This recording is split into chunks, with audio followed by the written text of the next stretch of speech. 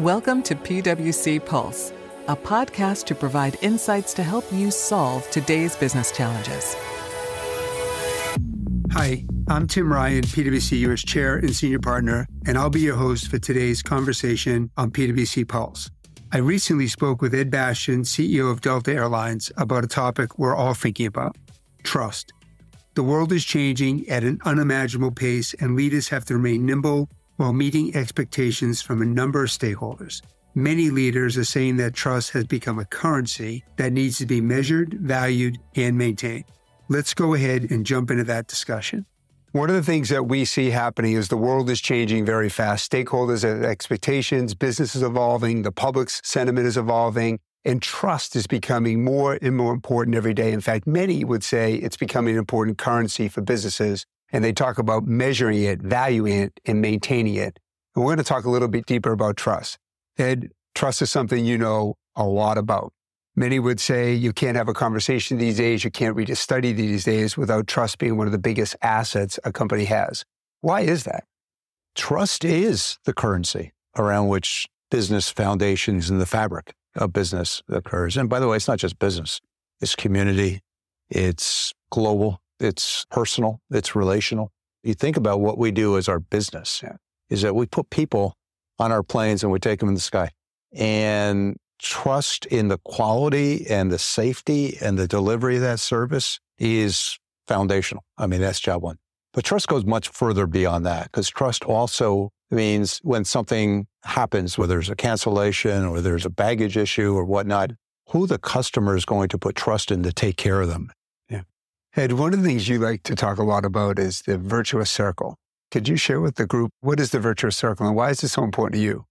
If you take good care of your people, your people will indeed take good care of your customers, who will reward you with their loyalty, and their repeat business will allow you to invest in growth so that you can take better care of your employees and you keep that circle moving.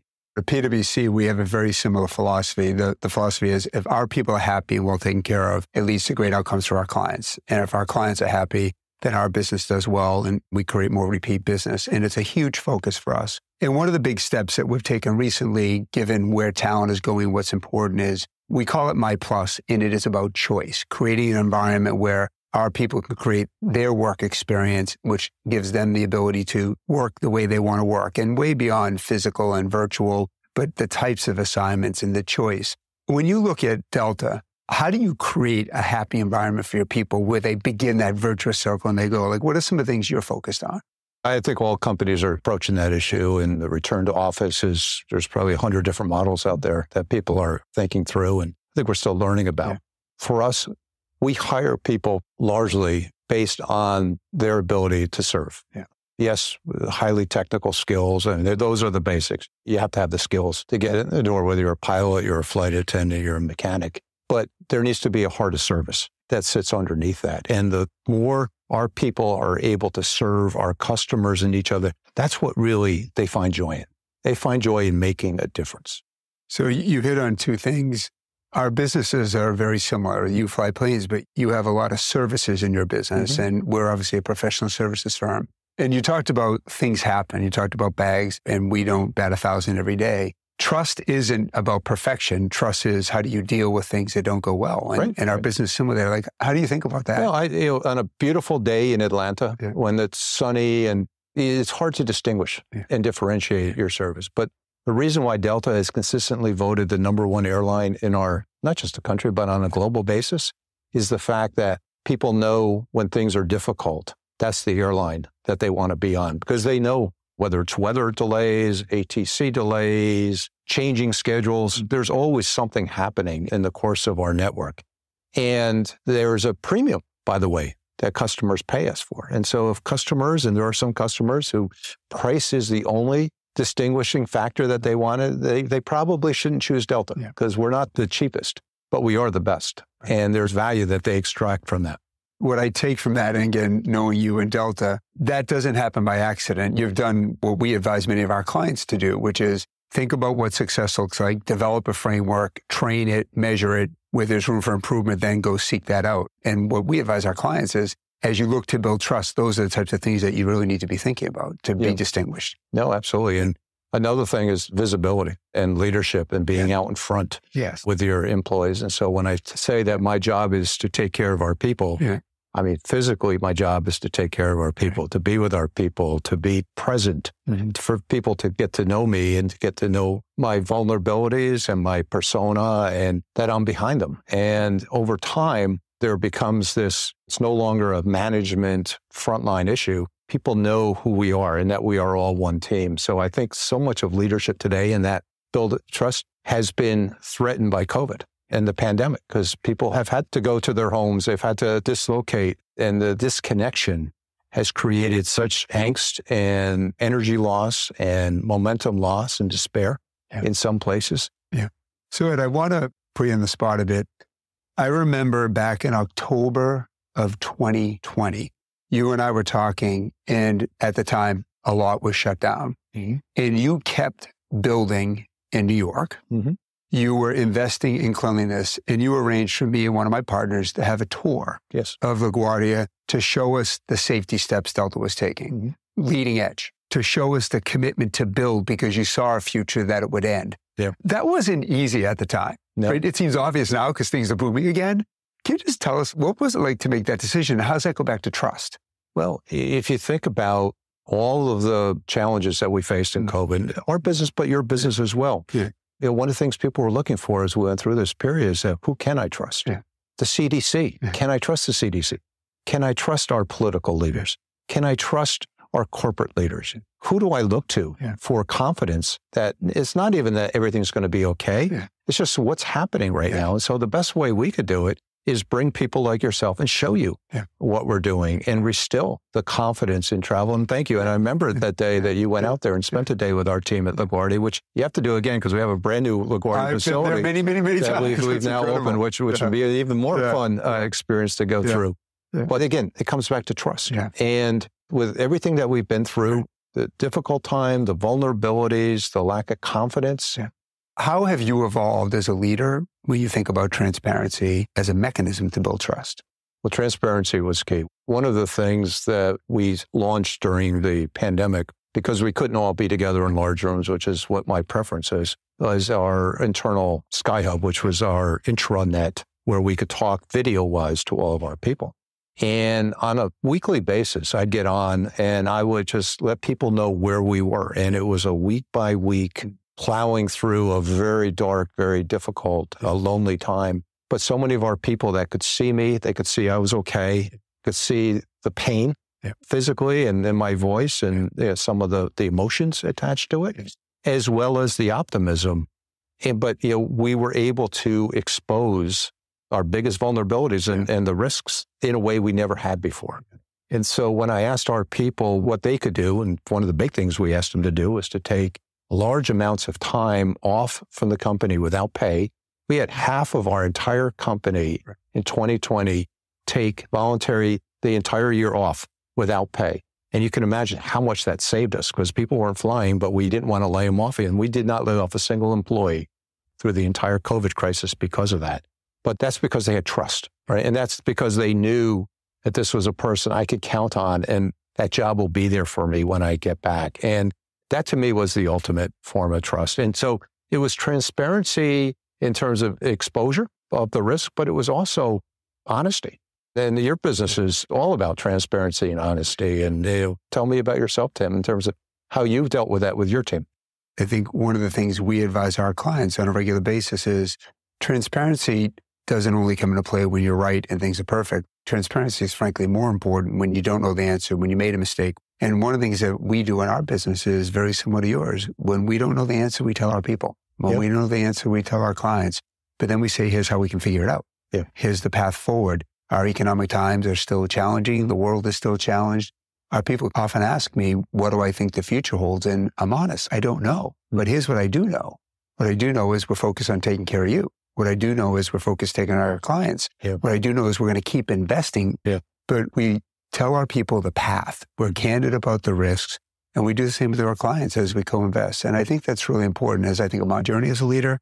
It's become clearer and clearer the way you earn trust is you let people know your vulnerabilities. Yeah. And, and, and a personal brand yeah. that you create alongside that. And while it sounds sensible, it sounds easy, yeah. it's really hard to do. Yeah. You know, we didn't get to the jobs we're in yeah. By not having answers. We got to the jobs we're in because we had answers, we had ideas, yeah. we had followership.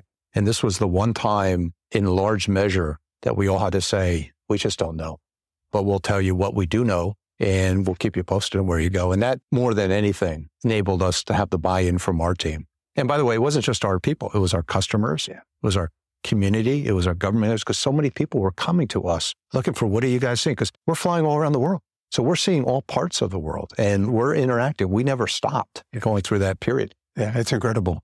Do you mind if I switch gears? A topic people like you, myself, and many, many of people in the audience are dealing with now is ESG. Mm-hmm. You mentioned earlier the number of stakeholders we all have. We have governments, we have clients, we have investors, we have our people. And there's a lot of pressure on leaders around the topic of ESG. And in many cases, ESG is related to trust. How do you think about ESG and managing all the different stakeholders and what guides you? Yeah. Well, ESG is an interesting discussion because there's nothing about the E and the S and the G that candidly kind of relates to each other. They've kind of been put together as an acronym. And I think that's what we're all struggling with mm-hmm. about too, is because they're all so different. On the environmental yeah. side, sustainability, that's our existential yes. challenge as yes. an industry. We don't have a substitute mm. for propulsion of our aircraft other than jet fuel, fossil fuel. And 98% of our footprint is exactly that. And so we're working and mm-hmm working hard with the administration, working hard with our energy partners and others, our OEMs, our engine manufacturers to try to create new forms mm-hmm. of propulsion. And eventually we will find it. And certainly the short term sustainable aviation fuels provide some very interesting and promising opportunities. But that's what we have to work on. And by the way, it's not just that. It's what we're doing on the ground. Our ground vehicles, we're moving to electrification. We're doing many, many yeah. limiting plastic from our operations. Then you kind of get to the governance side and the social side of it. You know, the, the role of a CEO today has never been more difficult, but also more important because of societal views of the roles that we play in the comments yeah. that, you know, everything you say is parsed. And, you know, 50% of the people love you and 50% of the people probably don't care for you. And by the way, it's true for everybody. It doesn't matter. You just can't have a yeah. thin skin when you get through this, but you have to stay on purpose. You have to stand about what you believe in. You don't want to wade into political waters but you want to be on. And yeah. I was speaking to a group recently, uh, as a young group, people's group, and we are talking about this. And I've come to the conclusion that we all need to put our purpose out in terms of who we are as companies, our values, our leadership, what we do, why we do, why we do. And we got to play offense on these topics. Yeah. And when something happens or something goes wrong, right. I mean, occasionally you're going to have to speak. You're going to have to say something. You're going to have to do something, but it's got to be consistent with what you believe in. It's not just what you believe in, is what your stated beliefs are so that people aren't surprised.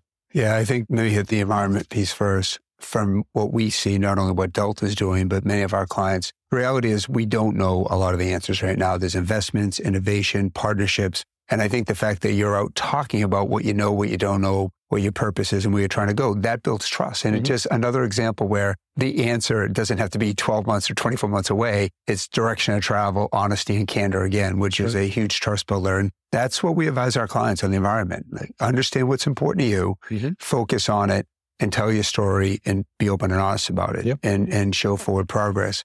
Your comment about the social side, I think, is a really important one. If I'll, I'll go a little deeper on us, I, I couldn't agree more. We we have to know what our values are. Our values can't be fair weathered. We have to be consistent about it. One of the hardest journeys I went on was three years ago.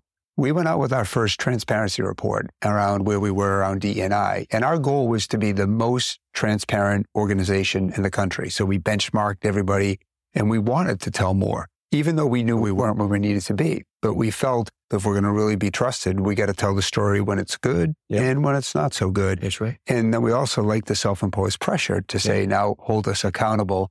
So I think there are two good examples of you're right. You've got to have your values. You've got to know where you're going. Yeah. And I, I applaud you. And I saw your yeah. your report, and we've done the same. Yeah. You know, Delta a few years ago, we went out with our numbers yeah. around D and I, and they weren't what you would want them to yeah. be. They're not horrible, but they weren't great, and they show clear needs for improvement. And we followed it up each year for the last three years with how we're doing. And we're making progress on some. We're kind of sideways on others. But the fact that we're accountable for it We've committed to yeah. letting our people know, most importantly, but also our investors, our customers, our communities where we know the brand has soared in that trust factor, the confidence. You know, numbers are easy to hide behind, and numbers also can be liberating if yeah. you bring them out and you're willing to own them. We've done a number of studies on trust, and in many organizations where leadership believes they're trusted and where employees or customers are, there's often a gap. The CEOs are focused on a number of things, and employees are worried more about their day to day. So, if I can, maybe I'll pivot to employees again, and I mm-hmm. want to maybe hit a couple of different things. How do you close that gap? Because many employees define trust from their perspective or customer, to your point earlier, around their experience here in the moment. Communicate, whether it's video or written form, and communicate often. Mm-hmm. And so that enabled people to feel like they were being updated yeah. more regularly. But now that we're back out of COVID, I am on the road nonstop yeah. with our people. I know we're not perfect, mm-hmm. but when they can see the person and they can feel the passion, mm-hmm. that drives success. So Ed, it's funny. I, I, as you know, I'm with hundreds of CEOs and boards. One of the biggest things I advise them is be out, mm-hmm. be close to your customer, close to your people. And as I look to the future, a critical skill set of the CEO and leaders, future leaders going forward, will be human capital. Like as I think about, there's always a different time for a skill set in the C-suite, maybe sales, maybe finance, engineering. As we look forward, the war for talent, which is where I like to go next, mm-hmm. and inspiring, motivating people, the skill set that the CEO needs from me now more than ever yep. is appreciation for people and where you just went. But as you look at the skills going forward, how do you see the skill sets of a CEO evolving? Technology is changing in lots of different aspects of that. Digital is such, in our business, such a huge part of where we're going. Yeah. And trying to change from the hand to hand work that we do with customers yeah. to giving customers yeah. the opportunity to experience our product under as much control as they can, as they want to get. And as a result of that, I think we have to all recognize that the people we have around us kind of need to morph and change and kind of look differently. But I come back, Tim, with the notion that if you're investing in your brand, meaning putting a quality brand out there and your reputation, you're not going to have any problems attracting talent. I think that's the role of the CEO yeah. is to make sure that they are providing that overall experience that their people can then express yeah. to potential new hires. Good for you. Last question for you. I know you love to be out and one of the places you go a lot is campus and you talk to future talent. If you get the question, as Ed Bastian looks into the future, are you bullish or are you bearish? Are you optimistic or pessimistic? I'm, How do you answer that I question? am bullish, yeah. uh, and I'm always bullish. And the reason I'm bullish is we are coming through, and we've come through the defining mm-hmm. period, not just of our generation, yeah. maybe of multiple mm-hmm. generations mm-hmm. here. And we've all learned a lot. And you know, one of the things we learned about is the need to maybe slow down mm-hmm. and focus on what's important. Mm-hmm. We learned a lot about wellness and how we take care of ourselves, how we take care of our social needs, our yeah. emotional mm-hmm. needs, financial needs, not just our physical needs, things that we never would have talked about yeah. in the past. And we're putting action at Delta behind each one of those platforms in a very meaningful way. And everything I talk about is that it's not about building back, it's about building better. And in our business, particularly, if there's anything we learned over the last couple of years, we rediscovered the power of human connection and the energy that you say. And yeah, I know you're traveling a lot. I'm traveling a lot. Every single time, people are just happy yeah. to be back together. And there's something in that that we all need to recognize. Mm-hmm. And yeah, there will be virtual meetings and there will be virtual means by which people communicate into the future, but nothing replaces the spiritual connection that we make and the energy we draft yeah. from each other and just being together. And there's a joy to that. And that's, we spend a lot of time at what we do. Yeah. We want to have fun. We want to enjoy it. Yeah. And well, I'll double down on that. I'm, I'm bullish. And when I'm on campus, I get that question in front of my people. What I've seen is incredible resiliency. I've seen incredible teaming, incredible innovation.